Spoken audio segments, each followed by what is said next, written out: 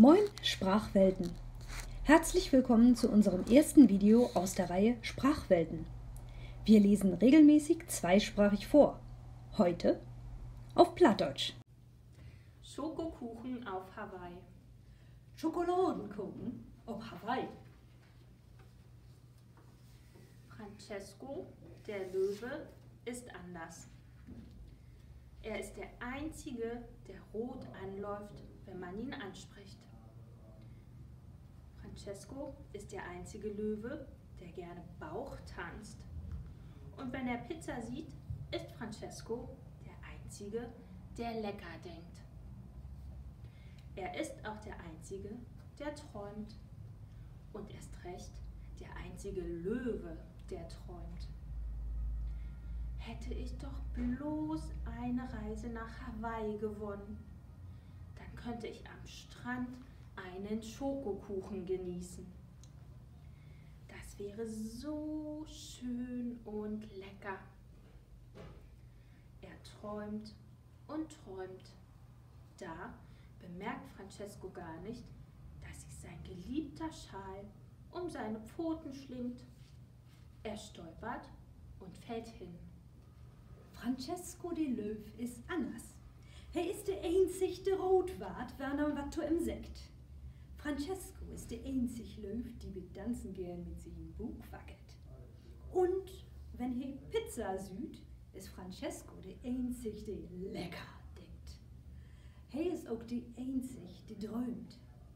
Und für wo der einzige Löw, der träumt, oh, ich doch in Tour nach Hawaii wohnen.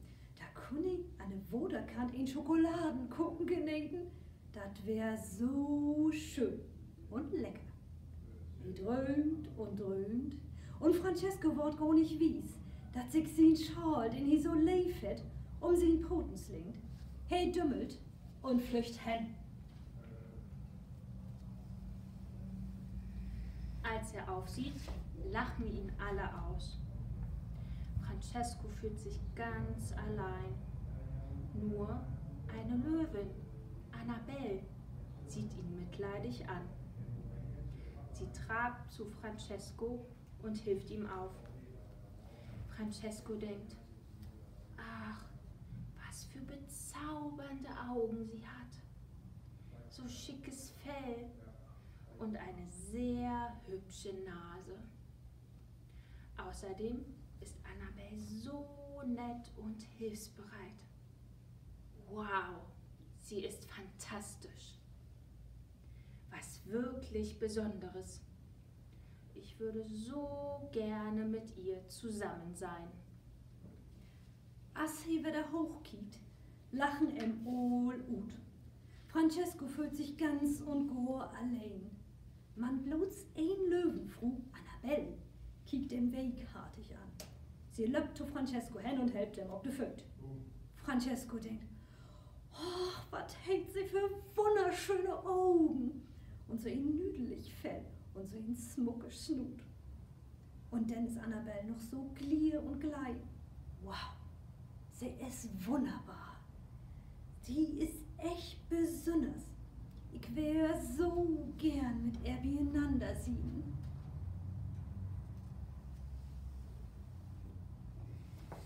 Francesco träumt.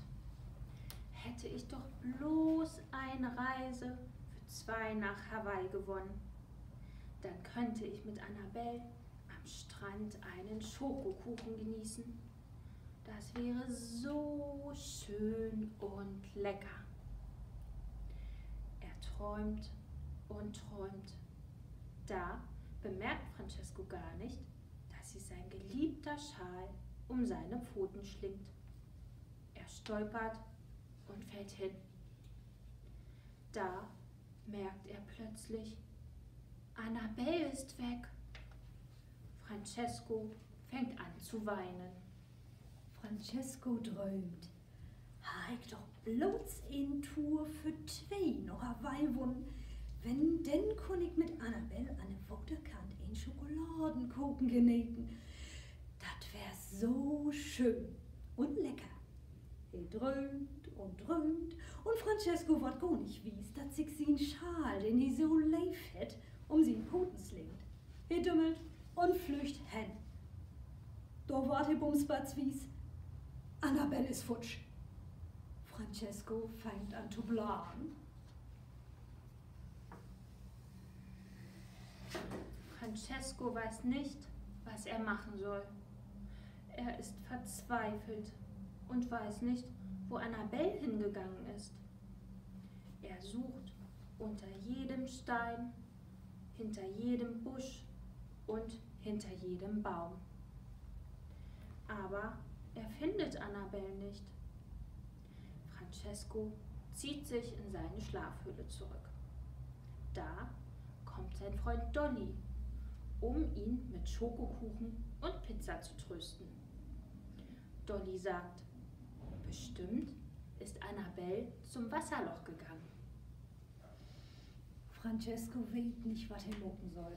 Er ist bedrüft und weet nicht, wo Annabelle hingegangen ist. Er söcht. An der kein Stein und achter kein Strug und achter kein Bogen. Man, he findet Annabelle nicht. Francesco krabbelt in sin Slowblock. Nu, da kommt sin Freund Dolly. Den will ihm mit Schokoladenkroken und Pizza begöchern. Dolly sagt, für was ist Annabelle to de Watercool hingorn?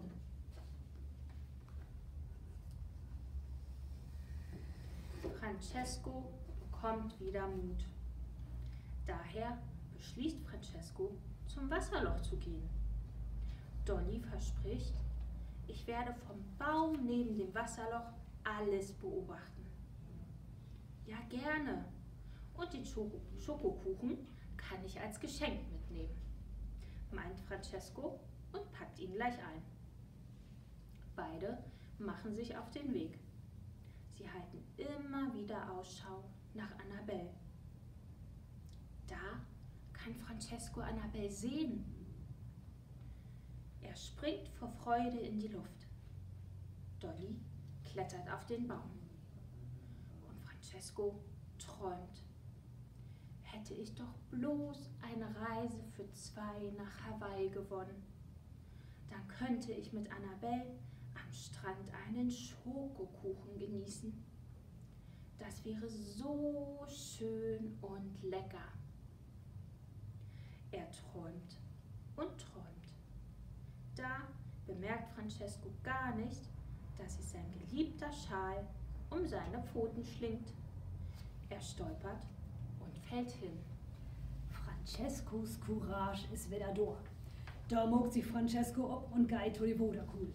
Dolly sagt im Tau, ich set mir ob den Baum neben die Woderkuhl und hab alles ins Aug. Das ist fein. Und die Schokoladenkuchen kann ich als Gift mitnehmen, sagt Francesco und packt den Forts in. Bei Muxig ob de Panne. Sie kiekt sich jümmers weder noch Annabelle um. Doch kann Francesco Annabelle sehen. Die jumpt in der Luft vor Vergnügen. Dolly klattert auf den Baum. Francesco dröhnt. Oh, ha ich doch bloß ein Tour für zwei noch Hawaii wonnen. Denn König mit Annabelle an der Wode kann ein Schokoladenkuchen geneten. Dat wär so schön und lecker. Hey drömt und drömt und Francesco, wat gar nicht wies, dat sich sin Schal, den hi so leif het um sin Poten slingt. Hey dümmelt und flücht hin. Francesco liegt auf dem Boden. Da bemerkt er Kovo. Was will der denn hier, dieser Angeber? denkt Francesco. Er meint immer, er sei der Stärkste und könnte alleine eine riesige Herde von Elefanten besiegen. Wieso ist der bloß Anführer geworden? Kovo ist dabei, seine schwarze Mähne zu kämmen. Schwarze Mähnen sind gerade total angesagt. Francesco denkt, hätte ich doch bloß auch eine schwarze Mähne. Da wirft Kovo den Kamm weg und ruft, Annabelle! Francesco liegt auf der Erde. Da wort he Kovo wies. Wat will hi denn her? Düsse Prol Hans, denkt Francesco. Er meint immer, dass er bannig stark ist und allein viele, viele Elefanten Dols mieten kann. Oh, warum ist sie bloß Spaß worden? Kovo ist dabei sein swarten kennen. Swarte Haar sind just total in der Mode. Francesco denkt, oh, wenn ich doch bloß auch swarte Haar hätt. Da smiet Kovo den Loosangel hin und krakeelt. Annabelle!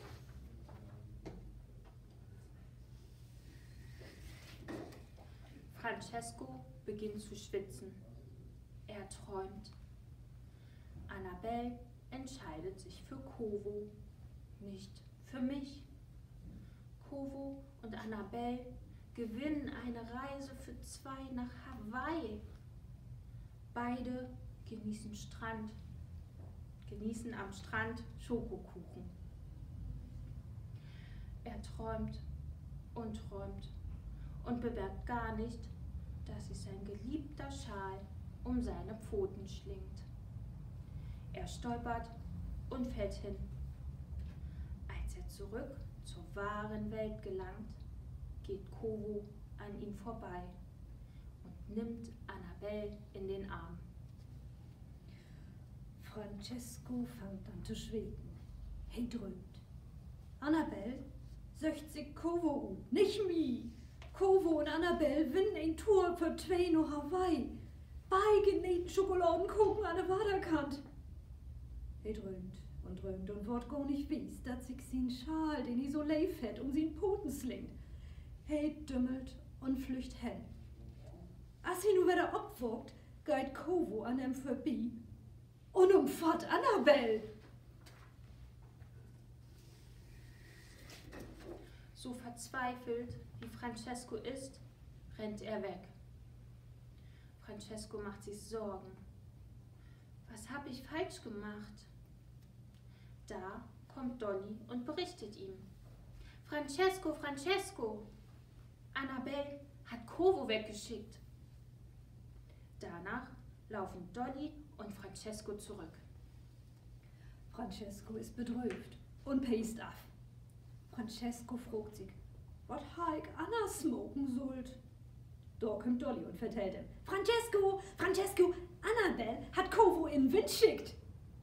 Ach, da no loben Dolly und Francesco zurück.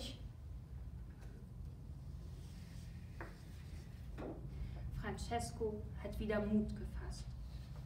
Dolly und Francesco rennen in Richtung Wasserloch. Sie suchen Annabelle. Francesco findet sie mit Kovo an der alten Hängebrücke. Francesco hat sie in Courage zurück. Dolly und Francesco pesen zu der Watercool hin. Sie suchen Annabelle. Francesco findet er mit Kovo an der ohne Bammelbrüch.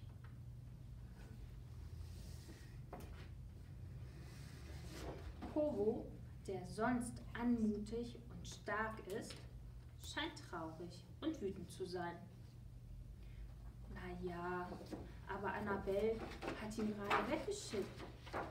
Da ist man schon traurig. Francesco, äh, ups, Kovo, der Annetit smuck und bannig stark ist, sich bedröft und verrennt und. Naja, Mann, Annabelle hat mir auch just in Wind schickt. Da ist ihn Sachs bedröft, denkt sich Francesco. Mit eins stört Kovo in Gift und Gall in Pal von der Bammelbruch um. Mann Francesco süd, dat Annabelle ob de Bammelbruch steit. Francesco will zur Brücke rennen. Er bemerkt gar nicht, dass sich sein geliebter Schal um seine Pfoten schlingt.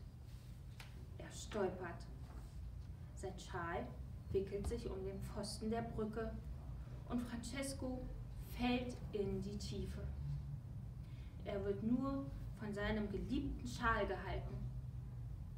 Francesco steht der Schweiß auf der Stirn. Da hört er ein Knacken und Annabelle schreien.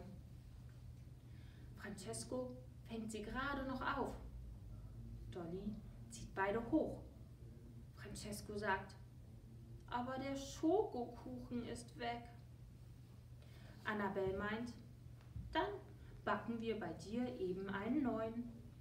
Francesco will zu der Brücke pesen. Hey, wer hat gar nicht wies, dat sich sin Schal, den i so leif hat, um sin Puten Hey dümmelt, sin Schal bammelt an den Pal von der Brüche und Francesco voll die Brünne.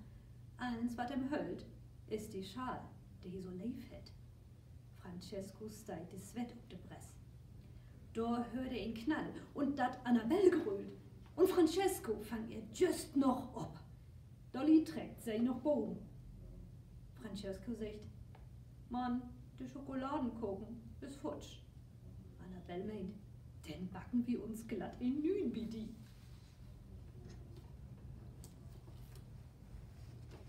In Francescos Höhle backen Francesco und Annabelle einen neuen Schokokuchen. Und dann träumen Francesco und Annabelle. Hätten wir doch bloß eine Reise für zwei nach Hawaii gewonnen, dann könnten wir am Strand einen Schokokuchen genießen. Das wäre so schön und lecker. Sie träumen und träumen. Sie bemerken gar nicht, dass sich Francescos geliebter Schal um ihre Pfoten schlingt. Und dann stolpern sie. In Francescos Lok backen Francesco und Annabelle in neuen Schokoladenkuchen. Und dann drömen Francesco und Annabelle. Han wir doch bloß ein Tour für zwei nach Hawaii wollen. Denn können wir eine Woderkant in Schokoladenkuchen genießen. Das wäre so schön und lecker. Sie drömen und drömen. Sie waren gar nicht wies, dass sich der Schal, den Francesco so leif hat, um ihre Poten slingt. Und dann dümmeln sie.